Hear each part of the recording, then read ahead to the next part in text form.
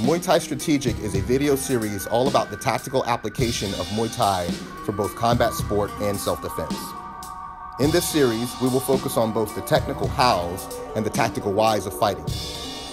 These are the foundations of Muay Thai that can be made combat ready through drilling, pressure testing, and eventually application in live training. What's up everybody? This is Ajarn Buck Grant. I am here in beautiful Toronto and we're gonna go over three simple but effective traps that you can use in Muay Thai in order to set up the elbow. So the first one is off of someone turtling up off of an elbow strike.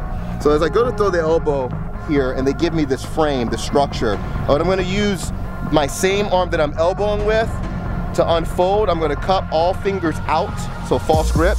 And as I pull from here, boom, that's gonna be the elbow strike from that position.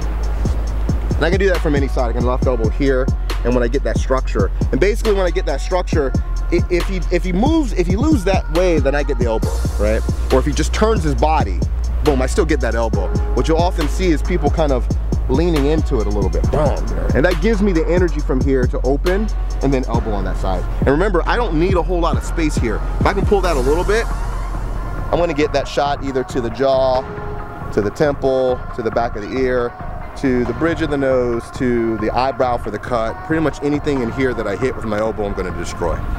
So again, I elbow, bong, and I open up, bong, and hit on that side, right side, hit, I fold open, bong, and hit on there too. Same thing can apply from the clinch position. And this is really where a lot of trapping is typical in Muay Thai. We're already tied up. We're using the knee strike to hit. And generally you'll see it ties the cup over top of this bicep because I'm I'm concerned about getting elbowed too. You know, you'll see sometimes if people wrestle, you might see them cupping here, but this elbow is free to hit, right? Any given time he can hit me, so I wanna monitor that. That also gives me a vantage point to be able to elbow. So I'm going to kind of gooseneck it here by the middle of his forearm. And from this position, I'm gonna drop my weight, I'm gonna pull this down to my bicep, and then from that position, that's a short elbow. So I'm just going to basically crunch my core and then turn my body.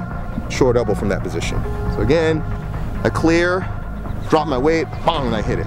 So this keeps, me, keeps him from being able to block it because I have this obstructed here. I hold on to it for a split second. Don't need to hold on it for very long, and then I can either go here or I can go across the shoulder and get that same elbow.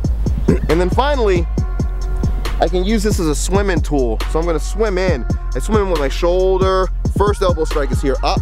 I'm gonna trap over top. I drop my weight and then bang, that's the next elbow. And I like to take this one up because his weight's already coming down. And so from here, I go across my shoulder, go right to the cheekbone or whatever I hit in the general structure here. So again, this one, I can't go over top. I swim under, first elbow, trap, second elbow, and I hit. Those are some of my favorite techniques that can be used on the ground for ground fighting. It can be used for stand-up clinching. Very versatile tool.